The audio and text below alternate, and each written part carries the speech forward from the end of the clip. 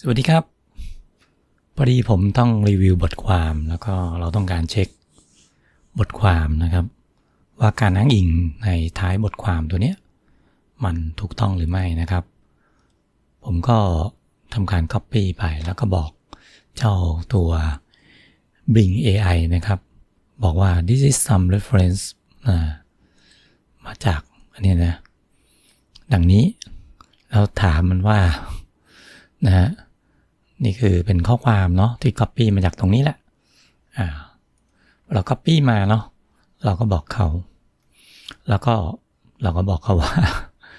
คุณเช็คให้หน่อยไหมว่ามันเป็น APA style format ไหม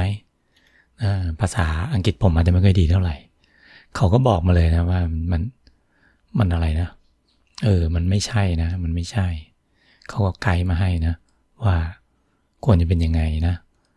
คราวนี้เราว่า เออ งั้นก็คุณช่วยปรับให้มันเป็น APA format ได้ไหมนะฮะมันก็เก่งนะครับ โอ้ ปรับให้เรียบร้อยเลยนะครับ จากเดิมทีอะไรนะ บุญเนี่ยบุญชมสีสะอ้านนี่นะครับ อ่าสองศูนย์หนึ่งเก้านี่นะครับ ก็ดำเนินการปรับเป็นสีสะอ้านเนาะ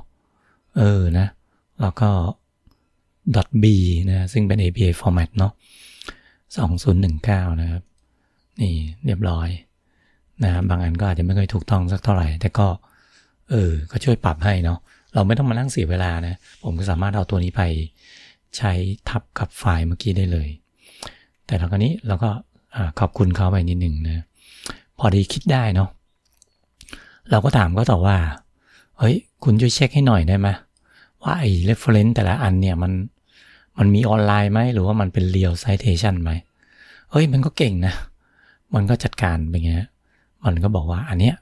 ใช่มีมีอยู่จริง อันเนี้ยก็มีนะฮะอันนี้มีอันนี้มี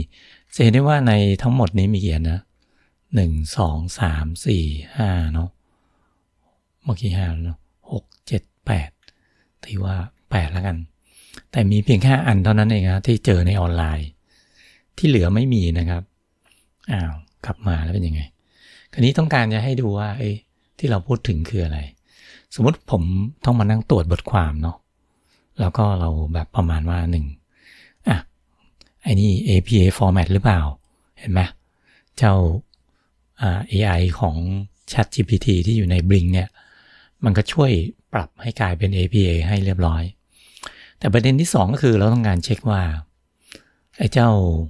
แต่ละอันเนี่ยมันเป็นของจริงหรือเปล่า มีออนไลน์ไหม เออ มันเก่งนะเราใช้เวลาไม่นานนะ ก็สามารถเป็นไงเช็คได้เลยว่า 1 2 3 4 5 6 7 8 8 อันเนี้ยมีแค่ 5 อันเท่านั้นที่มีอยู่จริง นอกนั้นอีก 3 อันก็คือไม่มี เห็นไหมประหยัดเวลาชีวิตเราไปได้เยอะมากเลยนะครับ ก็ลองไปใช้ดูนะครับ ใช้ AI ช่วยทำงานก็จะช่วยลดงานของเราได้เยอะพอสมควรครับ